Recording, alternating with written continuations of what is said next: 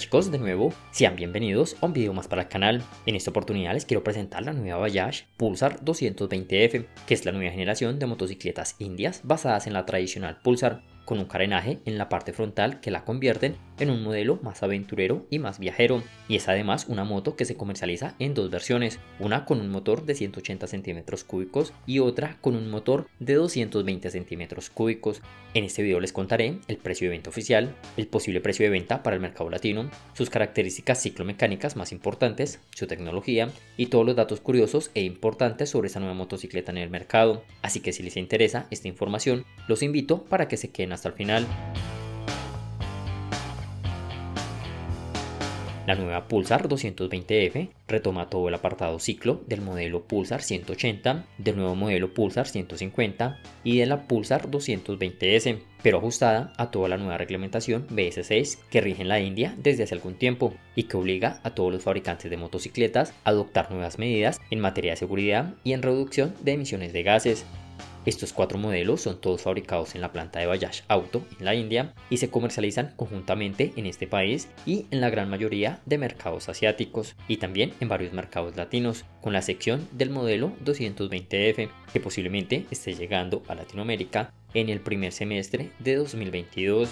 Escriban en los comentarios qué opinan acerca del diseño de esta nueva Pulsar, diseño que ya va a cumplir más de 16 años en el mercado y la cual no ha recibido cambios verdaderamente significativos. En materia mecánica, la nueva generación Pulsar 220F destaca por tener y por mantener un motor DT-SI 4 tiempos de un solo cilindro de 220 centímetros cúbicos, de dos válvulas por cilindro y con doble bujía de encendido. Este motor nos ofrece una potencia máxima de 20 caballos a 8500 RPM y una fuerza de torque máxima de 18.5 Nm a 7000 revoluciones por minuto.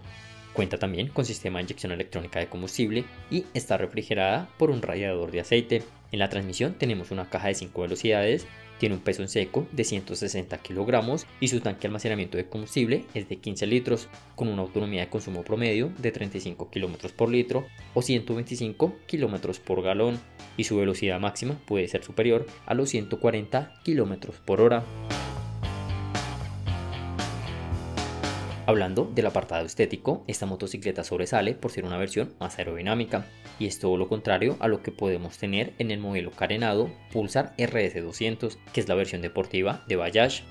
Al frente, en esta 220, destacan las tapas exteriores que sobresalen del tanque, la cúpula alargada, los espejos retrovisores y el faro tipo Aliens con un completo y complejo sistema de iluminación que combina bombillo LED y bombillo halógeno también nos encontramos las gigantescas direccionales y el tablero de instrumentos convencional.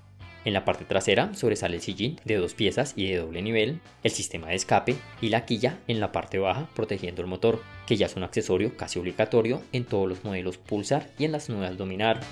En la suspensión tenemos unas barras telescópicas convencionales y en la parte trasera un basculante doble en acero acompañado de una suspensión de tipo Nitrox ajustable en 5 posiciones. En los frenos tenemos discos en ambas ruedas. Adelante un disco con una pinza Vibre de 280 mm y un disco de 230 mm en la parte trasera con sistema de ABS bloqueo de doble canal.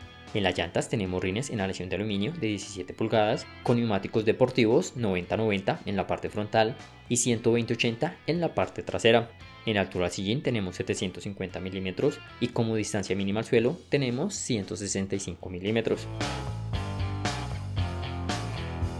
Como dato curioso les comento que esta motocicleta, la 220F, junto a la versión 200 de TS, fue la primer Pulsar de Bajaj en llegar al mercado con sistema de inyección electrónica de combustible por allá en el año 2007 y también destacó en ese año por traer de serie un freno de disco en la rueda trasera.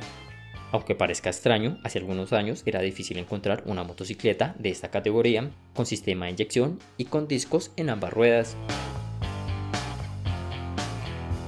Hablando del posible precio de lanzamiento de esta nueva Pulsar para el mercado latino, podemos decir que su precio oficial de venta en la India es de 123 mil rupias indias y es un precio algo similar y más económico en relación a la Pulsar NS200.